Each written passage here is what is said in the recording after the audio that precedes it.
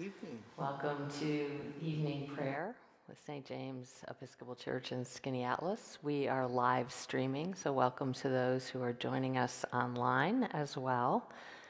There is a bulletin for this service that is on the website at stjamesscan.org, but we also follow the prayer book, and I will be announcing the page numbers. For those of you present in the nave, the entirety of the liturgy is in the bulletin, and you won't need anything else.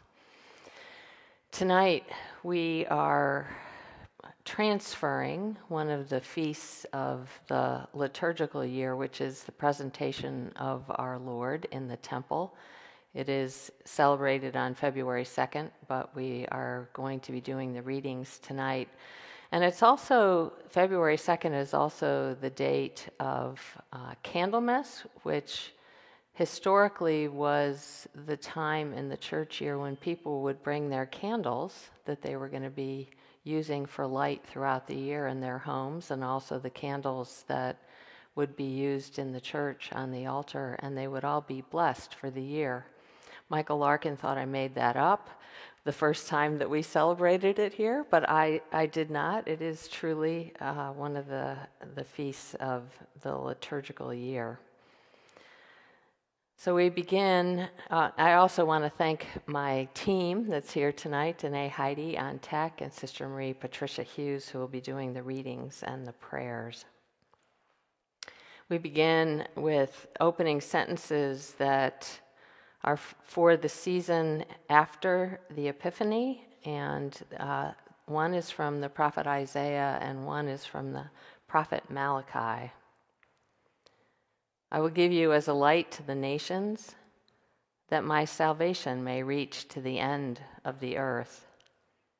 From the rising of the sun to its setting, my name shall be great among the nations and in every place incense shall be offered to my name, and a pure offering.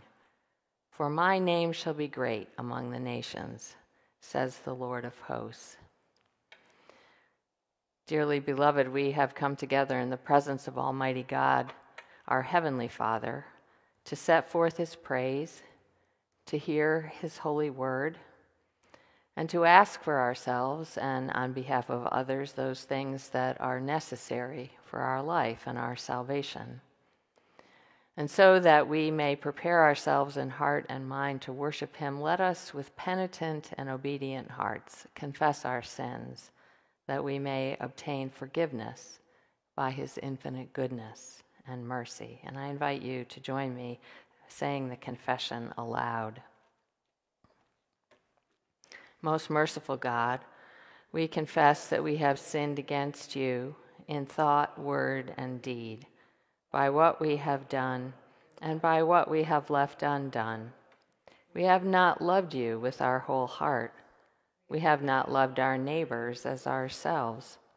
We are truly sorry, and we humbly repent. For the sake of your Son, Jesus Christ, have mercy on us and forgive us that we may delight in your will and walk in your ways to the glory of your name. Amen. Almighty God, have mercy on us. Forgive us all our sins through our Lord Jesus Christ. Strengthen us in all goodness, and by the power of the Holy Spirit, keep us in eternal life. Amen. Turning to page 117, if you're following in the Book of Common Prayer, I invite you to say the responses of the invitatory. O God, make speed to save us. Glory to the Father, and to the Son, and to the Holy Spirit, as it was in the beginning, is now, and will be forever. Amen. Alleluia. And this verse for the season after Epiphany, would you please say it with me? The Lord has shown forth his glory. Come, let us adore him. And now turning to page 118, for those following in the prayer book, I invite you to say aloud with me the Phos Hilaron, which begins, O gracious light. O gracious light pure brightness of the ever living Father in heaven, O Jesus Christ, holy and blessed, now as we come to the setting of the sun, and our eyes behold the vesper light. We sing your praises, O God, Father, Son, and Holy Spirit. You are worthy at all times to be praised by happy voices, O Son of God, O Giver of life, and to be glorified through all the worlds. Our psalm tonight is Psalm 84, and it will be found in the Book of Common Prayer on page 707, 707. Let's do it by every other verse. I will, it, while you're at home, you can do it as well. I will say the first verse or the odd numbers and ask you to repeat with the second, uh, the even numbers. How dear to me is your dwelling, O Lord of hosts. My soul has a desire and longing for the courts of the Lord. My heart and my flesh rejoice in the living God. The sparrow has found her a house, and the swallow a nest where she may lay her young. Side of your altars. Happy are they who dwell in your house. They will always be praising you. Happy are the people whose strength is in, whose hearts are set on them. Those who go through the desolate valley will find it a place of springs, for the early rains have covered it with pools of water.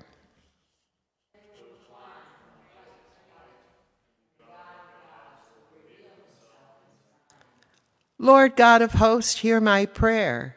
Hearken, O God of Jacob.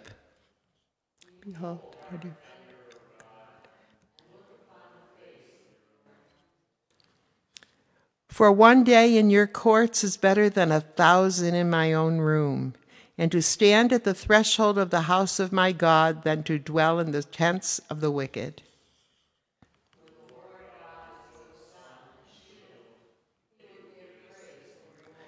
No good thing will the Lord withhold from those who walk with integrity.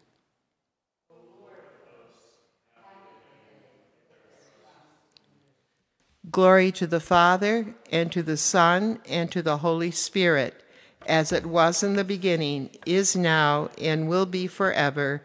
Amen. Our first lesson tonight is from the book of Hebrews, chapter 2, and it comes from the contemporary English version. We are people of flesh and blood. That is why Jesus became one of us. He died to destroy the devil who had power over death. But he also died to rescue all of us who live each day in fear of dying. Jesus clearly did not come to help angels, but he did come to help Abraham's descendants. He had to be one of us so that he could serve God as our merciful and faithful high priest and sacrifice himself for the forgiveness of our sins. And now that Jesus has suffered and was tempted, he can help anyone else who is tempted. The word of the Lord. Thanks be to God. I invite you now to join me in saying the words of the Cot, which is the Song of Mary, and found on page 119 in the Book of Common Prayer. My soul proclaims the greatness of the Lord. My spirit rejoices in God my Savior, for he has looked with favor on his lowly servant. From this day all generations will call me blessed. The Almighty has done great things for me, and holy is his name. He has mercy on those who fear him in every generation. He has shown the strength of his arm. He has scattered the proud in their conceit. He has cast down the mighty from their thrones and has lifted up the lowly. He has filled the hungry with good things, and the rich he has sent away empty. He has come to the help of his servant Israel, for he has remembered his promise of mercy, the promise he made to our fathers to Abraham and his children forever. Glory to the Father, and to the Son, and to the Holy Spirit, as it was in the beginning, is now, and will be forever. Amen. Our second lesson tonight is from Luke chapter 2, and it is the New Living Translation. Then it was time for their purification offering as required by the law of Moses after the birth of a child. So his parents took him to Jerusalem to present him to the Lord. The law of the Lord says, if a woman's first child is a boy, he must be dedicated to the Lord. So they offered the sacrifice required in the, in the law of the Lord either a pair of turtle doves or two young pigeons. At that time, there was a man in Jerusalem named Simeon. He was righteous and devout and was eagerly waiting for the Messiah to come and rescue Israel. The Holy Spirit was upon him and had revealed to him that he would not die until he had seen the Lord's Messiah. That day the Spirit led him to the temple. So when Mary and Joseph came to present the baby Jesus to the Lord as the law required, Simeon was there. He took the child in his arms and praised God, saying, Sovereign Lord, now let your servant die in peace as you have promised. I have seen your salvation, which you have prepared for all people. He is a light to reveal God to the nations, and he is the glory of your people Israel. Jesus' parents were amazed at what was being said about him. Then Simeon blessed them, and he said to Mary, the baby's mother, This child is destined to cause many in Israel to fall, and many others to rise. He has been sent as a sign from God, but many will oppose him. As a result, the deepest thoughts of many hearts will be revealed and a sword will pierce your very soul. Anna, a prophet who was also there in the temple, she was a daughter of Phanuel from the tribe of Asher, and she was very old. Her husband died when they had been married only seven years. Then she lived as a widow to the age of 84. She never left the temple but stayed there day and night, worshiping God and fasting with fasting and prayer. She came along as Simeon was talking with Mary and Joseph, and she began praising God. She talked about the child to everyone who had been waiting expectantly for God to rescue Jerusalem. When Jesus' parents had fulfilled all the requirements of the law of the Lord, they returned home to Nazareth in Galilee. There the child grew up healthy and strong. He was filled with wisdom, and God's favor was on him. The word of the Lord. Thanks be to God. Please join me now in saying the words of the Nunc Dimittis. It's found on page 120 in the Book of Common Prayer. And uh, this is actually the Song of Simeon, so we are repeating his words, if you would say it with me. Lord, you now have set your servant free to go in peace as you have promised. For these eyes of mine have seen the Savior, whom you have prepared for all the world to see, a light to enlighten the nations, and the glory of your people Israel. Glory to the Father, and to the Son, and to the Holy Spirit, as it was in the beginning, is now, and will be forever. Amen. So I'm going to read to you tonight um, from Sam Portaro's book, Brightest and Best, but I want to say a couple things first about the readings. This reading from uh, Psalm 84, I can almost hear Anna's voice in this psalm, even though they weren't her words. How dear to me is your dwelling, O Lord of hosts. My soul has a desire and longing for the courts of the Lord. Uh, she, I mean, what what the um, gospel reading tells us from Luke is that she she never left the temple. She was there day and night. Something something moved in her, which was no doubt the Holy Spirit. That um, at this in these last days of her life, what she wanted more than anything was to be close to God. And what a beautiful, um, what a beautiful unfolding of a life to get to that place where your longing is just for this deep relationship with God. And then um, I, I want to point out, because you're going to hear this in the reflection from Sam Portaro, but in the, in the passage from Luke, uh, Simeon doesn't actually say, um, he doesn't actually say that he knows who Jesus is. The, I'm gonna, let me read you this again. Uh, the Holy Spirit was upon him and had revealed to him that he would not die until he had seen the Lord's Messiah. Now, the word Messiah actually means anointed. So, what Simeon, when Simeon sort of has this, probably what was somewhat like an ecstatic, um, just kind of bursting forth with these words, he knows that he has seen an act of God. Now, does he know that this is Jesus, the Son of God? We don't really know that. Uh, we know that looking back, but did Simeon know that?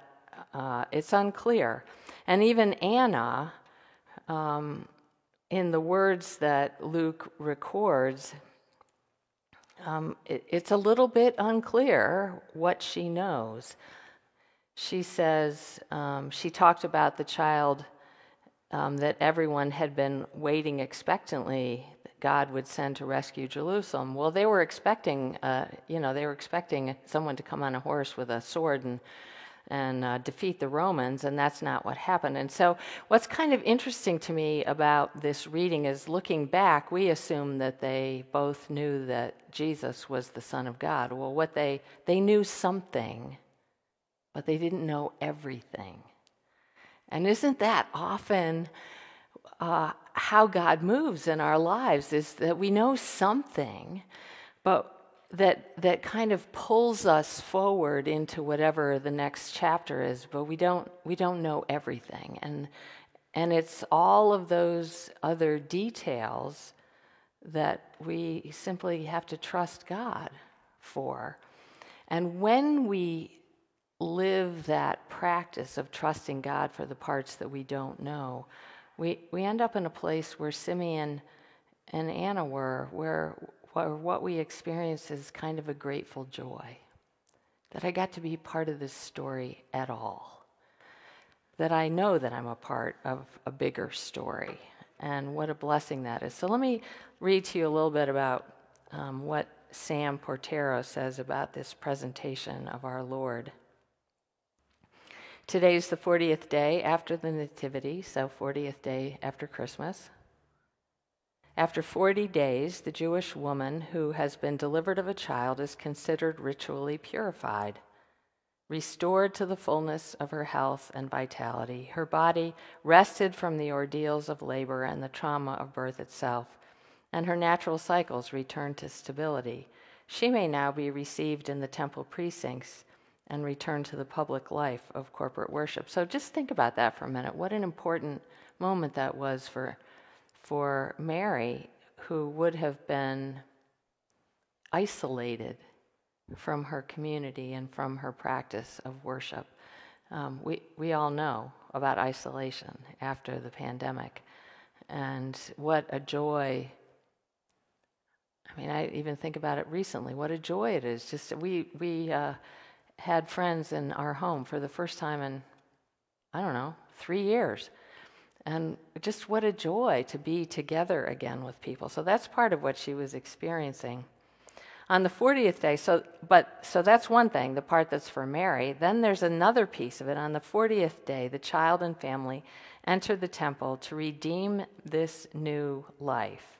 And here's the explanation because all creation and thus all children belong to God, parents of Jesus' day offered the first male child to God as the first fruits of the harvest of their marriage. What a, what a beautiful practice. And a little scary. But alongside the child are offered the sacrificial animals whose lives are taken that the child may live. Joseph and Mary probably saw nothing extraordinary in the ritual they kept. The minimal requirement of the law established that at least two turtle doves or young pigeons be sacrificed. And they were so poor, they, they could probably um, barely afford the most inexpensive of the, of the offerings. And um, Portaro goes on at some length in a, in a beautiful kind of a way to talk about what, what was it that Anna and Simeon saw at that moment. These two people who spent much of their life in the temple. And part of what they saw was two very plain, ordinary people who were simply being faithful and doing what their uh, religion, religion required of them. And yet, at the same time, they were given a knowing that this was not just any ordinary family, but something great was going to come from this. And Portaro finishes by saying this sight filled them with joy, filled their life with meaning. Their love, their faith, and their hope fulfilled, they could go to death in peace. They saw at the end of long and very full lives and the blessedness of life's wisdom and God's grace that God requires far less than we may think, only what we are. So, the feast of the presentation, Mary was offering herself, Mary and Joseph were offering Jesus. This is what we do every Sunday. We offer ourselves. It's what we do whenever we pray. We offer ourselves to God in the simplicity of who we are. And then God meets us more than halfway by showing us just sometimes a glimpse of the incredible story that we are part of day in and day out. And my prayer for you all, my friends, would be that you get to see a glimpse of what God is doing in your life today, tomorrow, and the next day. Let us now join together saying the words of the Apostles' Creed. If you're using a prayer book, it's on page 120. I believe in God, the Father Almighty creator of heaven and earth. I believe in Jesus Christ, his only Son, our Lord. He was conceived by the power of the Holy Spirit and born of the Virgin Mary. He suffered under Pontius Pilate, was crucified, died, and was buried. He descended to the dead. On the third day, he rose again. He ascended into heaven and is seated at the right hand of the Father. He will come again to judge the living and the dead. I believe in the Holy Spirit, the Holy Catholic Church, the communion of saints, the forgiveness of sins, the resurrection of the body, and the life everlasting. Amen. The prayers will be found in the Book of Common Prayer on page 121. Please pray with me. The Lord be with you. Let us pray. Our Father, who art in heaven, hallowed be thy name. Thy kingdom come, thy will be done, on earth as it is in heaven. Give us this day our daily bread, and forgive us our trespasses, as we forgive those who trespass against us. And lead us not into temptation, but deliver us from evil. For thine is the kingdom and the power and the glory forever and ever. Amen. Intercessory prayers A will be found in the Book of Common Prayer on page 121. Show us your mercy, O Lord, and grant us your salvation. Clothe your ministers with righteousness. Let your people sing with joy. Give peace, O Lord, in all the world. For only in you can we live in safety. Lord, keep this nation under your care. And guide us in the way of justice and truth. Let your way be known upon earth. Your saving health among all nations. Let not the needy, O Lord, be forgotten. Nor the hope of the poor be taken away. Create in us clean hearts, O God. And sustain us with your Holy Spirit. At this time, we invite those on Facebook to post your prayer request and those present in person to speak your intercessions aloud. I'd like to pray tonight for Mimi, Jean, Frank, and Joan, all who have passed away uh, recently, that they will find peace in heaven. And today is the birthday, three years old, of Milo Kerper. He turns three today. So I would like to say a prayer for Milo and his parents, Jeremy and Jan, Jen, Ben and his Ben grandparents, Ben Kip and Rachel. uh, Ben and- Ben Ben, and and Rachel. I did the wrong ones. Sorry. oh okay. well, I guess they needed prayers too, and they they have, they have Rose and Dylan. So now I've got everybody covered in the family, and his grandparents who happen to be sitting here, Kip and Becky, who love them, who love Milo to the moon and back, and also, Lord, we ask you to bless this darling little boy.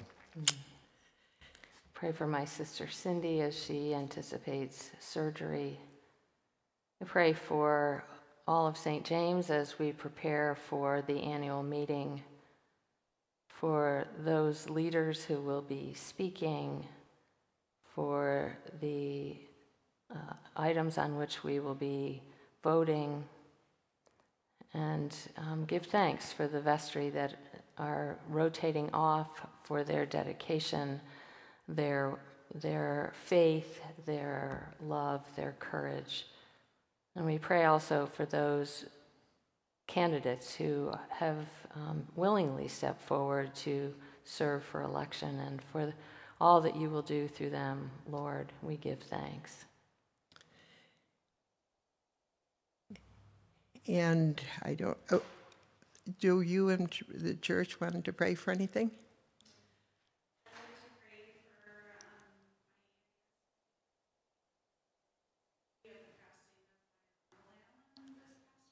Oh, I'm sorry.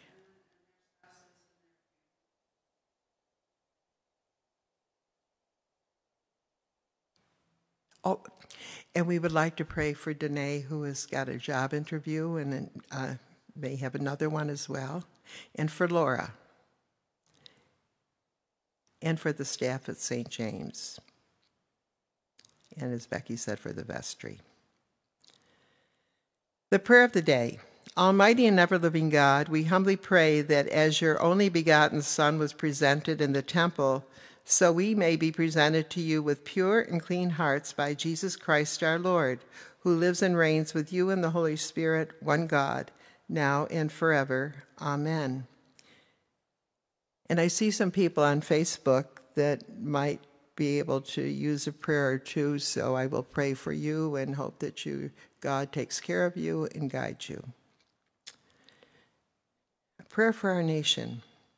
Grant, O God, that your holy and life giving spirit may so move every human heart, and especially the hearts of the people of this land, that barriers which divide us may crumble, suspicions disappear, and hatred cease.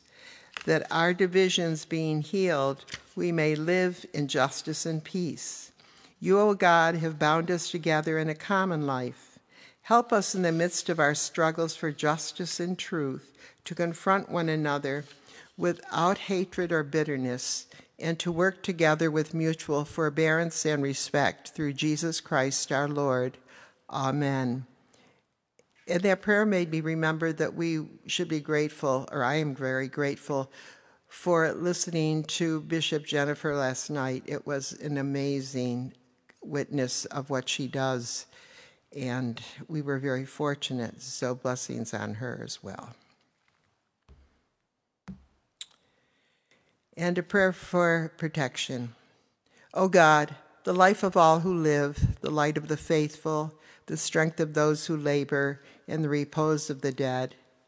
We thank you for the blessings of this day that is past, and humbly ask for your protection through the coming night. Bring us safety to bring us safely to the morning hours through him who died and rose again for us, your Son and our Savior Jesus Christ. Amen. And a prayer for mission. O God, you manifest in your servants the signs of your presence, Send forth upon us the Spirit of love, that in companionship with one another your abounding grace may increase among us through Jesus Christ our Lord. Amen. Well, it's good to be with you all uh, here in the church this night. And just a word that at the end, uh, Danae will stop the um, live stream, but it takes a minute, so we all just kind of sit quietly and then we'll have a moment to greet one another. And again, welcome to those who are on the live stream. We do have coming up this Sunday St. James annual meeting. The annual report will be available on Sunday morning. It is always a very rich and inspiring read. Uh, a look back over the year of all the things that have gone on in the various ministries and the mission of this parish. We will be voting on the uh, candidates for vestry. We also have two fairly mundane changes to the bylaws that we'll be voting on, and John Gilly and the finance team, uh, Nicole Bova, will be giving us a presentation of the budget and of the financial report from the past years. And all of it is uh, just remarkably good news. So uh, um, I do encourage you to participate if you can. It will take place immediately after the last service on Sunday. You can join us here in the nave or on Facebook. Uh, it will be live streamed, and you just go to the website and click on the button. It's as simple as that. You don't you don't have to go through Facebook or anything fancy. And all of the information about what we will be uh, voting on is on the website and in the weekly and every place you can imagine, because that's what Laura Pesesnik does. So please do join us if you can. Also, the, the main uh, speech is my annual address. Laura Pesesnik is going to talk about children's ministry, and John Watt will be talking about the capital campaign. All of those will be recorded and posted on the website. So if you missed the meeting, you can still hear those uh, reports. If you would please join me in saying the general thanksgiving found on page 125 in the Book of Common Prayer. Almighty God, Father of all mercies, we, your unworthy servants, give you humble thanks for all your goodness and loving kindness to us and to all whom you have made.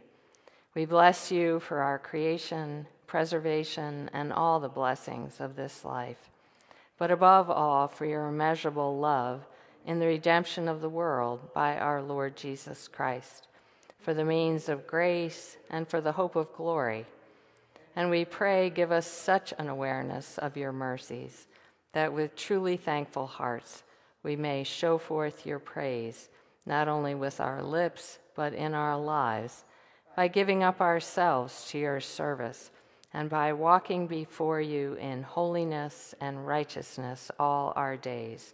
Through Jesus Christ our Lord, to whom with you and the Holy Spirit be honor and glory throughout all ages. Amen. Let us bless the Lord.